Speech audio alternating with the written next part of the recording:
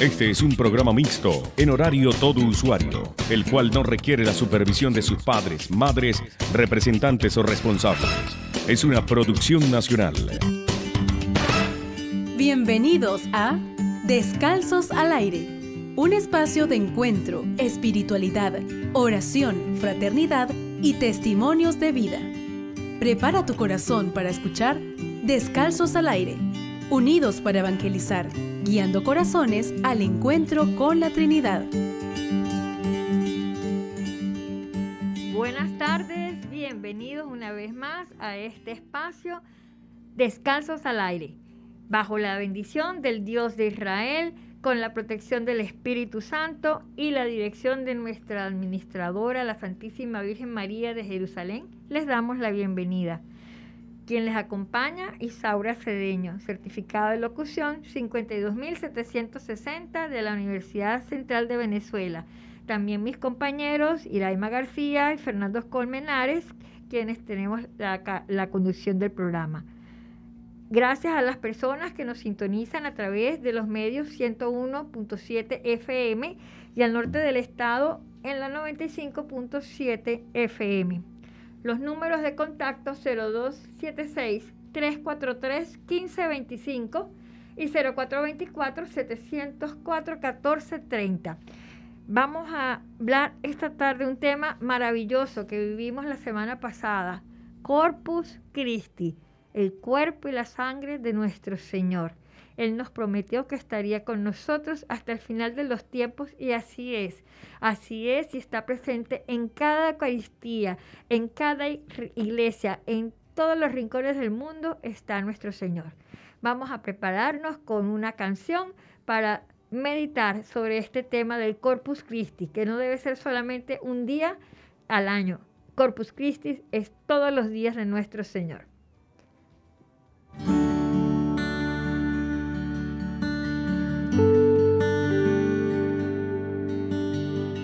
Trinidad. He ahí nuestra morada, nuestra casa, la casa paterna de donde no debemos salir nunca.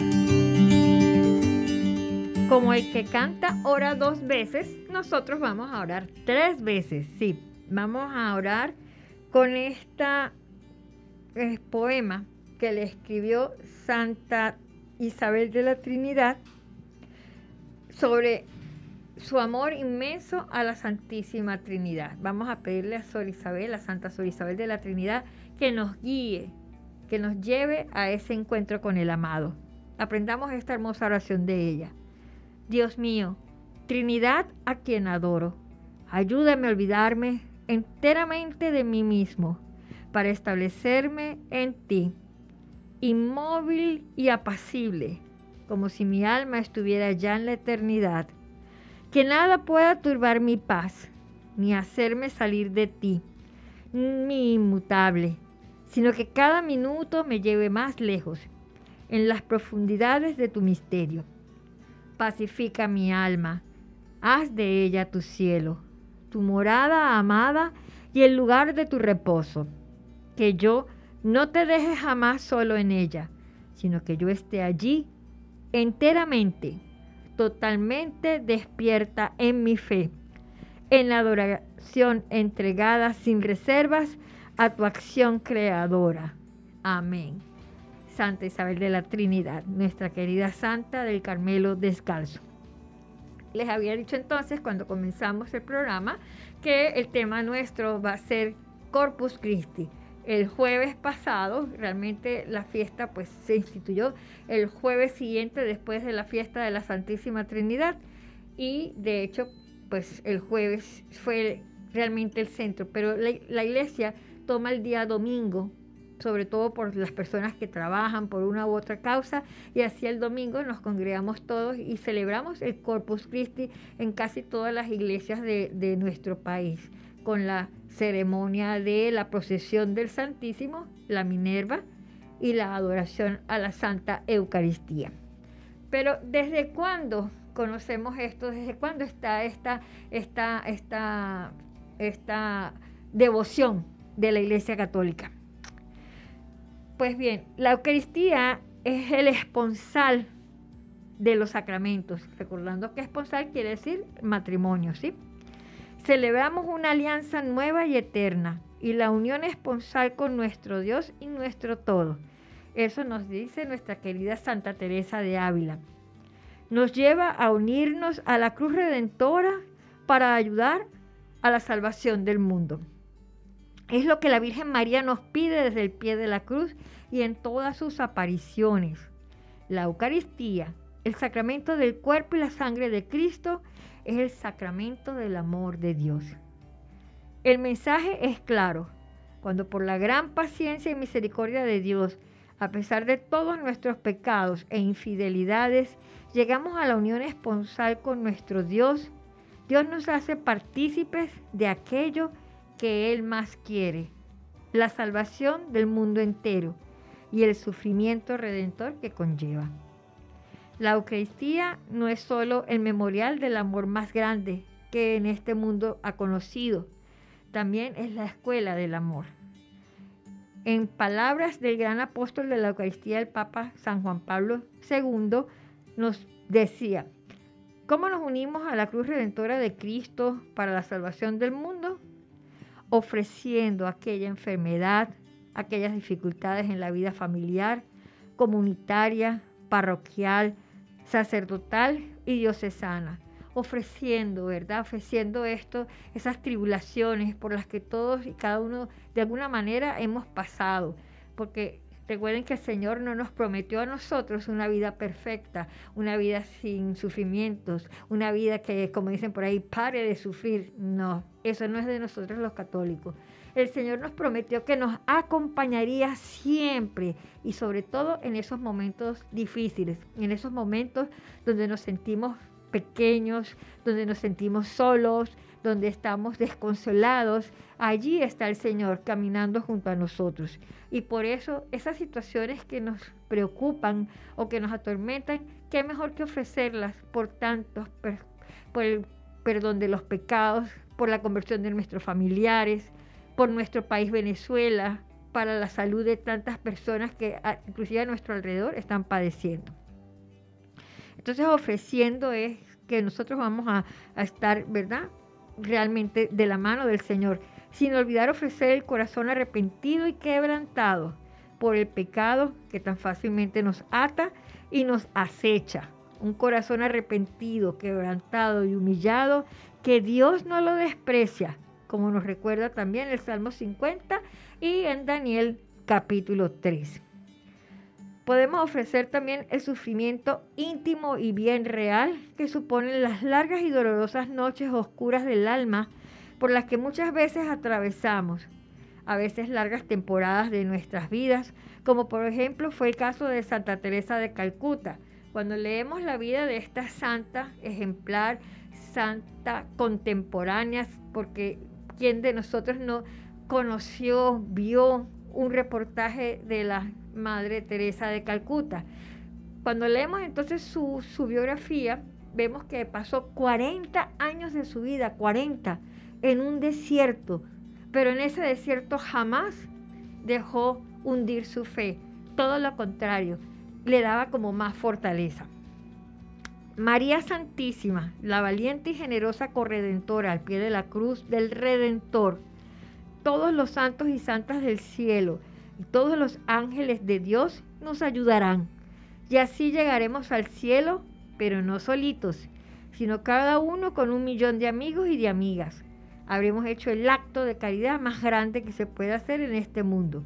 Una caridad que está al alcance de todos, porque ¿quién no nos ha dicho en esta vida, mire, por favor, ore por mí, ore por la salud de fulanito? Este, muchas veces nos llaman al programa y eso nosotros atendemos con mucho gusto esas llamadas que ustedes nos hacen solicitándonos que oremos por determinado caso, por determinada situación porque para eso estamos nosotros, para orar los unos por los otros y no duden que ese es nuestro mayor interés, tomar nota de esas peticiones que ustedes hacen y unirnos en una sola voz, unirnos en un solo corazón, unirnos en una sola oración.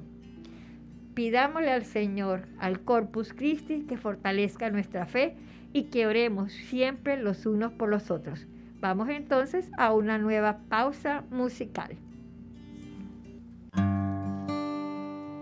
Con la Trinidad, descalzos al aire, evangelizando desde la espiritualidad del Carmelo Teresiano. Gracias Cristian, siempre tan acertado. El Espíritu Santo le ilumina a compartir esos temas que nos llevan a continuar el tema con el que estamos trabajando el día de hoy. El milagro de amor infinito como es la Santa Eucaristía, Corpus Christi. Les había dicho que vamos a ver desde cuándo está esta devoción. Vamos a hablar de la historia cuándo comienza el mundo esta hermosa devoción del Corpus Christi. A finales del siglo XIII surgió en Lieja, Bélgica, un movimiento eucarístico cuyo centro fue la abadía de Cornillon, fundada en 1124 por el obispo Alberto de Lieja. Este movimiento dio origen a varias costumbres eucarísticas, como por ejemplo la exposición y bendición con el Santísimo Sacramento, el uso de las campanillas durante la elevación en la misa y la fiesta del Corpus Christi. Santa Juliana de Montcornillon, por aquellos años priora de la abadía, fue la enviada de Dios para propiciar esta fiesta. Desde joven, Santa Juliana tuvo una gran veneración al Santísimo Sacramento y siempre anhelaba que se tuviera una fiesta especial en su honor.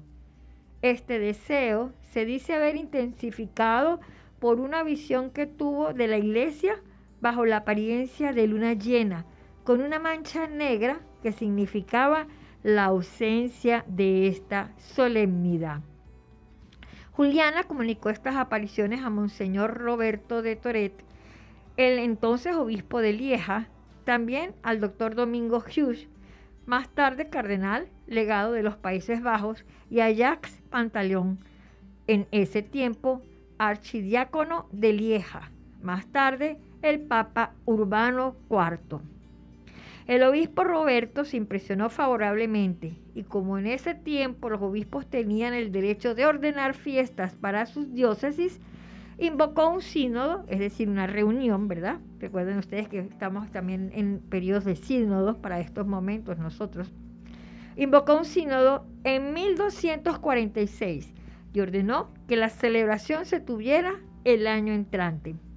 Monseñor Roberto no vivió para ver la realización de su orden, ya que murió el 16 de octubre de 1246. Pero la fiesta se celebró por primera vez al año siguiente, el jueves posterior a la fiesta de la Santísima Trinidad. Más tarde, un obispo alemán conoció la costumbre y la extendió por toda la actual Alemania. El Papa Urbano IV, por aquel entonces tenía la corte de Obierto, un poco al norte de Roma. Muy cerca de esta localidad se encuentra Bolsena, donde en 1263 a 1264 se produjo el milagro de Bolsena. ¿En qué consistió este milagro? Un sacerdote que celebraba la Santa Misa tuvo dudas de que la consagración fuera algo real. Al momento de partir la sagrada forma, vio salir de ella sangre, de la que se fue empapando enseguida el corporal.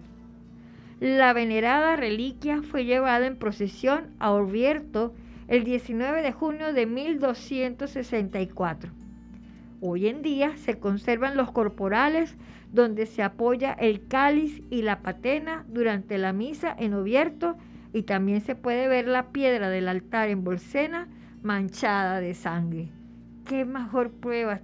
Tristemente nosotros somos personas que necesitamos muchas veces ver para creer, como dice el refrán popular, pero nuestra fe debe trascender todas esas barreras y todas esas fronteras nosotros no podemos estar viviendo una fe de ver para creer. Nosotros debemos pedirle al Señor que aumente nuestra poca fe, que nos llene con su Santo Espíritu. El Santo Padre, movido por el prodigio y a petición de varios obispos, hace que se extienda la fiesta del Corpus Christi a toda la iglesia por medio de la bula Transiturus del 8 de septiembre del mismo año, fijando para el jueves después de la octava de Pentecostés y otorgando muchas indulgencias a todos los fieles que asistieran a la misa y al oficio. Luego, según algunos biógrafos, el Papa Urbano IV encargó un oficio, la liturgia de las horas, a San Buenaventura y a Santo Tomás de Aquino. Cuando el pontífice comenzó a leer en voz alta el oficio hecho por Santo Tomás, San Buenaventura fue rompiendo el suyo en pedazos. De todos es conocido la sapiencia de este santo dominico, Santo Tomás de Aquino, el cual nuestro seminario tiene su epónimo. La muerte del Papa Urbano IV, el 2 de octubre de 1264, un poco después de la publicación del decreto, obstaculizó que se difundiera la fiesta, pero el Papa Clemente V tomó el asunto en sus manos y en el Concilio General de Viena en 1311 ordenó una vez más la adopción de esta fiesta. En 1317 se promulga una recopilación de leyes por Juan XXII y así se extiende la fiesta a toda la iglesia. Ninguno de los decretos habla de la procesión con el Santísimo como un aspecto de la celebración. Sin embargo, estas procesiones fueron dotadas de indulgencias por los papas Martín V y Eugenio IV y se hicieron bastante comunes a partir del siglo XIV. La fiesta fue aceptada en Colonia en 1306 y en Worms la adoptaron en 1315, en Estraburgo en 1316. En Inglaterra fue introducida de Bélgica entre 1320 y 1325. En los Estados Unidos y en otros países, la solemnidad se celebra el domingo después del domingo de la Santísima Trinidad, como, hicimos también nosotros aquí en la iglesia venezolana. La iglesia griega, la fiesta del Corpus Christi, es conocida en los calendarios de los sirios, armenios y coptos, también en los ritos de los de Galicia, Calabria y Sicilia. Finalmente, el concilio de Trento declara que muy piadosa y religiosamente fue introducida en la iglesia de Dios la costumbre que todos los años, determinado día festivo, se celebre este excelso y venerable sacramento con singular veneración y solemnidad, irreverente y honoríficamente se ha llevado en procesión por las calles y lugares públicos. En esto, los cristianos atestiguan su gratitud y recuerdo por tan inefable y verdaderamente divino beneficio, por el que se hace nuevamente presente la victoria y triunfo de la muerte y resurrección de nuestro Señor Jesucristo. ¿Por qué estamos leyendo este material? Porque nosotros, católicos, debemos formarnos no podemos vivir en la ignorancia. Y si alguien nos pregunta por nuestra fe, debemos dar respuestas adecuadas. ¿Cómo? A través de la formación.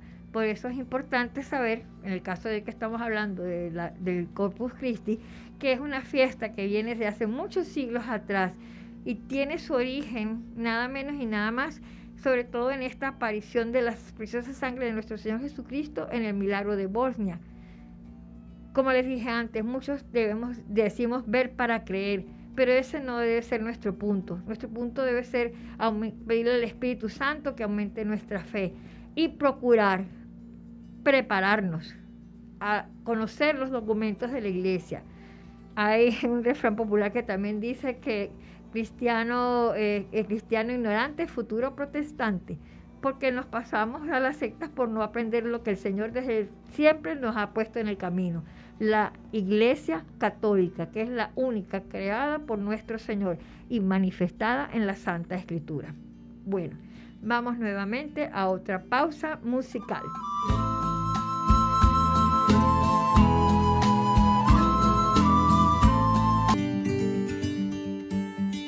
Continuando con la historia del Corpus Christi, vamos en las Sagradas Escrituras a ver que nuestro Señor, el día de la última cena, instituyó esta solemnidad. Jesús quiso dejar la iglesia un sacramento que perpetuase el sacrificio de su muerte en la cruz. Por esto, antes de comenzar su pasión, reunió con sus apóstoles en la última cena e instituyó el sacramento de la Eucaristía convirtiendo pan y vino en su mismo cuerpo vivo y se lo dio a comer. Hizo partícipes de su sacerdocio a los apóstoles y les mandó que hicieran lo mismo en memoria suya. Así, la Santa Misa es la renovación del sacrificio reconciliador del Señor Jesús. Además de ser una obligación grave asistir a la misa dominical y feriados religiosos de precepto, a menos que este eh, se esté impedido por alguna causa grave, es también un acto de amor que debe brotar naturalmente de cada cristiano, como respuesta agradecida ante el inmenso don que significa que Dios se haga presente en la Eucaristía. El Señor se dio a sí mismo, se donó a sí mismo por amor y en esa Eucaristía imaginémonos que estamos en, la, en, una, en, una gran, en una gran cena, en un gran almuerzo, y en medio de ese está el Señor, con cada uno de nosotros ofreciéndonos el pan y ofreciéndonos el vino. Y en ese trozo de pan y en ese vino está Él, está su cuerpo, su sangre y su divinidad. Qué hermoso. Y pensar que lo tenemos nosotros y no lo apreciamos como lo deberíamos apreciar muchas veces somos tan irreverentes y pasamos ante la santa custodia como si estuviésemos en una plaza, olvidando que está allí Él.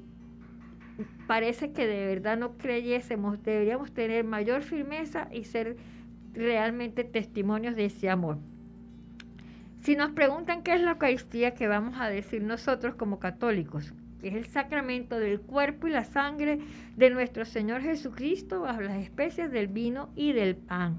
Por medio de la consagración que hace el sacerdote, convierte realmente estas especies en el cuerpo y la sangre de nuestro Señor que se ofrece en cada Eucaristía en el altar. Entonces, ¿qué es la Santa Misa? es la renovación sacramental del sacrificio de la cruz. En cada misa, en cada Eucaristía, se renova este sacrificio incruento, es decir, sin la sangre. ¿La Santa Misa es el mismo sacrificio de la cruz? Sí, así es, es el sacrificio de la cruz. La Santa Misa es el sacrificio, pero sin derramamiento de sangre, como les dije anteriormente puesto que nuestro Señor Jesucristo se encuentra ahora en estado glorioso.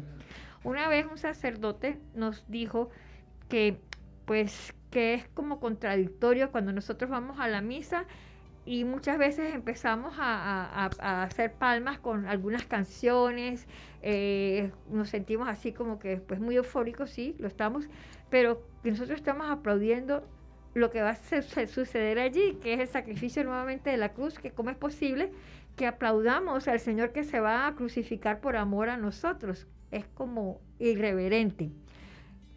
Pues cada quien debe pensar, ¿verdad? Que, que, si estamos allí por amor al Señor y por agradecimiento a Él, pues es, no es el lugar precisamente o no es el momento para hacer palmas. Hacemos palmas sí la noche de la resurrección, cuando celebramos el sábado de gloria, porque celebramos que el Señor ha resucitado y bueno, aplaudimos de emoción. Pero de resto la Eucaristía, la Eucaristía es la renovación de este sacramento, de este Corpus Christi que se nos da a nosotros.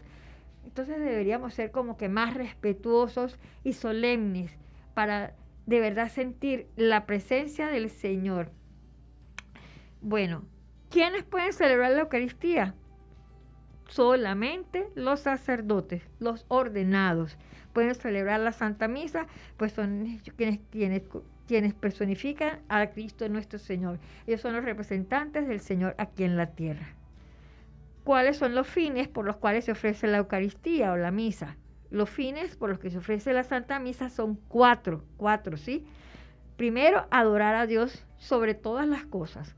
Segundo, agradecerle sus beneficios, pedirle dones y gracias. Tercero, y satisfacer por nuestros pecados, es decir, pedir por nuestro, lo indigno que somos, lo, lo poco que somos, lo indigno que somos para recibir a nuestro Señor en la Sagrada Comunión. La Eucaristía entonces es también el banquete sagrado en el que recibimos a Jesucristo como alimento de nuestras almas. Es el Corpus Christi. La comunión es recibir a Jesucristo sacramentado en la Eucaristía, de manera que al comulgar entra en nosotros mismos Jesucristo vivo, verdadero Dios y verdadero hombre en su cuerpo, sangre, alma y divinidad.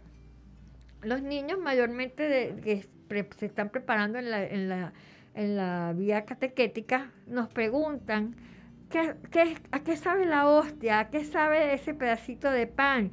Ellos dentro de su mundo, dentro de su ingenuidad, porque pues claro, son misterios y es muy difícil explicarle a un niño de esa edad que allí está el Señor, que ahí está Él en cuerpo, sangre, alma y divinidad a una criaturita. Pero entonces hay que recurrir a ejemplos más sencillos como por ejemplo el aire. Y uno le dice, ¿este puede ver el aire? No, no lo puede ver, ¿verdad? Pero ahí está, porque sin el aire nos morimos. Así es la Eucaristía. Está en la hostia, pero no lo podemos ver, pero sí sentir con nuestro corazón. Y es lo que debemos aprender a pedirle al Señor, que cada vez que el sacerdote hace la elevación, no hagamos como el avestruz de enterrar la cara y no verlo, sino también eso nos lo enseñó un padre, el padre Toro. Cada vez que el padre hace la elevación, nosotros, nosotros somos regalados, nosotros somos este, personas que tenemos una ganancia infinita, privilegiados, porque podemos ver al Señor en la hostia consagrada. Muchos se pierden esto cuando ocultan sus rostros en sus manos cuando el Señor está presente en nosotros en la elevación del cáliz, porque ahí está su sangre preciosa. Miremos al Señor, adorémoslo en las santas especies. Eso es lo que es la Sagrada Comunión, recibir al Señor mismo, Jesucristo, en cuerpo y alma divinidad, en ese pedacito de pan y en, esas gotitas de, del cáliz consagrado. Jesucristo está en la Eucaristía verdadera, real y sustancialmente presente, todo entero, vivo en su glorioso cuerpo, sangre, alma y divinidad. Y esto lo vemos nosotros cada día, en cada Eucaristía, pero le debemos pedir al Señor que aumente nuestra fe. ¿Quiénes pueden comulgar? Esto es un punto álgido dentro de la Iglesia Católica. Pues todos los que estén en gracia de Dios, guardar el ayuno eucarístico y saber plenamente a conciencia a quién se va a recibir. En cuanto a la gracia de Dios, pues la iglesia recomienda por lo menos una confesión al año o cada vez que estemos en pecado mortal. Muchos sacerdotes, por ejemplo el padre Carlos Yepes de Colombia, eh, los frailes carmelitas de Colombia, nos recomiendan que una vez al mes, nos, por lo menos nos, nos debemos confesar. Para quienes vemos EWTN, que es el canal católico, está la Madre Angélica, que es la la madre fundadora, ¿verdad? La madre que en paz descanse, que hizo real este canal para todo el mundo católico, ella recomendaba confesarse una vez cada semana, pero no es fácil porque los sacerdotes pues siempre están ocupados, los párrocos, eh, hay muchas actividades y en la confesión nosotros debemos, tenemos que, recordar que somos privilegiados de, de tener al Señor mismo escuchándonos nuestras debilidades y dándonos el perdón pues con ese, ese respeto a ella podemos preparar nuestra alma para comulgar. Y el desayuno el ayuno eucarístico, perdón, se refiere a que debemos ir por lo menos una hora antes sin consumir absolutamente nada. Hay quienes van, comen su pastel y de una vez van a recibir un, la Eucaristía. Pues no, porque nuestro cuerpo, que es templo del Espíritu Santo, debe también prepararse para recibirlo sacramentalmente. Y yo debo demostrar ese respeto mínimamente ayunando que sea una hora. Eso no nos va a pasar nada por una hora o dos horas que estemos sin haber consumido algún alimento. Simplemente es respeto y amor a nuestro Señor. Pues bien, este es el ayuno, ¿verdad? De que no el abstenerse de tomar líquido o de consumir alimentos por lo menos una hora antes.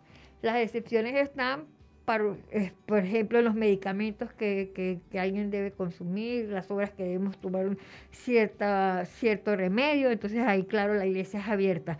Pero está en nosotros, ¿verdad?, ese respeto a nuestro Señor. ¿Cuándo se debe recibir la primera comunión? Y estaba hablando de los niños, ¿verdad? Que están preparándose para recibir en sus corazoncitos al Señor. Se debe recibir cuando se comienza a tener uso de razón, lo cual se supone que es a partir de los siete años, habiendo recibido previamente la preparación oportuna y el sacramento de la penitencia, es decir, la primera confesión. Mm, veo con tristeza que muchos representantes se molestan y se inquietan porque dicen, la preparación para la comunión son dos años, ¿por qué tanto tiempo?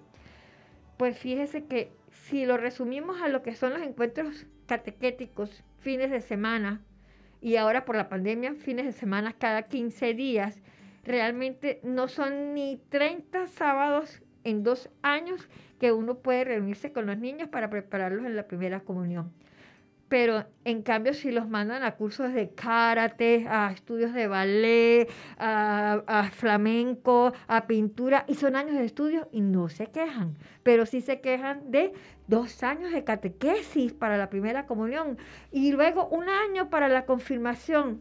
Pero tristemente nosotros como padres tenemos también un vacío muy grande, porque mandamos a nuestros hijos como para salir de eso después y luego nosotros también tenemos una muy pobre preparación en cuanto al conocimiento de los documentos de la iglesia y sobre todo de la Sagrada Escritura. Nunca será suficiente para el Señor. Esperemos y pidámosle al Señor que nos dé esa valentía de salir adelante y que preparemos nuestros tiempos, bueno, que ese día no importa que se pasen dos, tres horas, pero que los demos con amor para adorar al Señor en cada Eucaristía. Que de verdad seamos reflejos que veneramos el Corpus Christi. Vamos a una última pausa musical.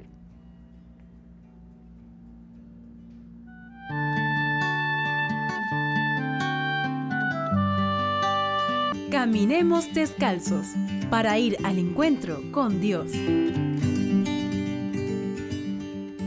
Recordando el tema que estamos tratando, Corpus Christi. Y últimamente estamos hablando sobre la primera comunión. Vamos a, contar una anécdota de cómo Santa Teresita del Niño Jesús recordaba esa fecha tan importante para ella, el día de su primera comunión. Santa Teresita del Niño Jesús de la Santa Faz nos decía, oh, qué dulce fue el primer beso que Jesús dio a mi alma. Fue un beso de amor. Yo me sentía amada y decía a mi vez, os amo, me entrego a vos para siempre. Teresa había desaparecido como la gota de agua que se pierde en el seno del océano. Quedaba solo Jesús, el Maestro, el Rey. Fíjese, desde tan pequeñita supo entender y albergar en su corazón el amor de la Santa Eucaristía, el amor a Corpus Christi. Y nosotros empezamos el programa con una oración de Santa Isabel de la Trinidad, nuestra querida Santa Carmelita también, también francesa, y vamos a ver cómo ella se enamora locamente de la Santa Eucaristía. También desde muy niña mantuvo una fuerte relación con la Eucaristía. Para ella era ocasión de sublimes expresiones de amor de Jesús que la impulsaban a entregar su voluntad a ese amor. Ella nos enseña que cuando por alguna circunstancia no podemos ir a misa, como lo hemos hecho, como nos ha pasado en estos tiempos de pandemia, ella planteaba que Jesús, el Señor, siempre está dentro de ella. Para Isabel, la Eucaristía era fundamental. El día de su primera comunión marcó un antes y un después en su vida. Pasaba horas horas adorando al Santísimo Sacramento expuesto. Estaba acostumbrada a mirar su vida desde la perspectiva de la fe. Lo mismo que toma su dolor de rodillas. ella fue desde muy pequeña, muy enfermita, con muchas dolencias, pues tenía su dolor de rodillas como un regalo de Dios y vive la ausencia de los sacramentos por no poder desplazarse dado su dolor de rodillas como una ocasión para sentir interiormente el amor de Cristo Jesús. En una de sus cartas, Santa Isabel le escribió, no puedo ir a la iglesia ni recibir la Sagrada Comunión, pero ya ve, Dios no tiene necesidad del sacramento para venir a mí. Me parece que lo poseo igualmente. Es tan buena esta presencia de Dios. Es allí, en el fondo, en el cielo de mi alma, donde me gusta buscarle, pues nunca me abandona. Dios en mí y yo en Él. Qué hermoso, qué hermoso que todos asumamos esta realidad. Dios en mí y yo en Él. Así es, queridos oyentes, así es cada uno de ustedes, cada uno de nosotros. Dios en mí y yo en Él. Dios en ustedes y ustedes en Él. Dios en nosotros y nosotros con Él. Vamos a pedirle a Santa Isabel de la Trinidad que nos siga conduciendo hacia este amor infinito, regalo de amor, la Santa Eucaristía. Oh Dios, rico en misericordia, que descubriste a Santa Isabel de la Trinidad, el misterio de tu presencia secreta en el alma del justo, e hiciste de ella una adoradora en espíritu y verdad. Concédenos por su intercesión que también nosotros, permaneciendo en el amor de Cristo, merezcamos ser transformados en templos del Espíritu de amor, para alabanza de tu gloria, por nuestro Señor Jesucristo, tu Hijo, que vive y reina contigo en la unidad del Espíritu Santo por los siglos de los siglos. Amén, amén y amén. Bueno, hermanos, pidámosle a nuestra santa, a nuestra querida Santa Carmelita, que nos lleve de su mano y preparémonos porque la próxima semana está un tema muy interesante y recuerden que estamos siempre orando por sus intenciones. No dejen de llamarnos y de contactarnos. Los domingos nos les invitamos para la Eucaristía Dominical en la Casa de Encuentro y Oración San Juan de la Cruz, donde están los frailes carmelitas descalzos en Potrero de las Casas. Esto queda pasando Palmira, vía Casa del Padre. Y el teléfono de contacto es 0276 516 8167. Aquí en San Cristóbal nos pueden buscar a nosotros en la comunidad de oración Santa Isabel de la Trinidad. Tenemos nuestra página en Facebook y el teléfono de contacto 0276 355 1251. Con mucho gusto estaremos atendiendo sus pedidos de intercesión, de oración de intercesión de los unos por los otros y también en la página encontrarán las enseñanzas, la lección divina todos los días por los frailes carmelitas de Colombia y las historias, las biografías de tantos santos que nos ayudan a enamorarnos del amor de los amores, del Corpus Christi. Bien, bajo la bendición del Dios de Israel, con la protección del Espíritu Santo y la dirección de nuestra administradora, la Santísima Virgen María de Jerusalén. Les agradecemos y les esperamos Dios mediante la próxima semana. Bendecida semana para todos y cada uno de ustedes.